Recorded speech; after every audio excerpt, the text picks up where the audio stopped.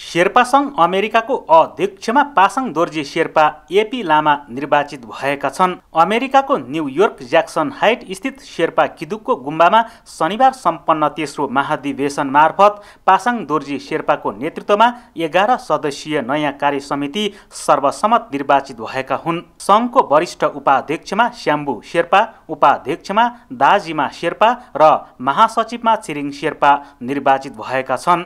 त्यस्तै सचिवमा पेम्बा ग्युर्मी शेर्पा कोषाध्यक्षमा छिरिङ शेर्पा सहकोषाध्यक्षमा साङ्गे शेर्पा रहेका छन् भने सदस्यहरूमा आङ छोग्याल शेर्पा लाक्पा ठिलेन शेर्पा गेलु शेर्पा र निमा दोर्जी शेर्पा रहेका छन्। शेर्पा अमेरिका अमेरिकामा अमेरिकी राजनीतिक चेतनाको विकास तथा सहभागिता लगायतको गतिविधि गर्न पाउने गरी दर्ता भएको संस्था हो। अमेरिका भरका शेर्पाहरूलाई अमेरिकी मूलधारको राजनीतिमा सहभागी गराउनका लागि सन् दुई हजार सत्रमा शेर्पा सङ्घ अमेरिकाको स्थापना भएको हो। अमेरिकामा रहेका शेर्पा समुदायमा सामाजिक र राजनीतिक चेतना जगाउने उद्देश्यले पनि यो संस्था स्थापना गरिएको हो। यो संस्था अमेरिकी कानुन अन्तर्गत फाइभ जिरो वान सी फोरको रूपमा दर्ता गरिएको छ।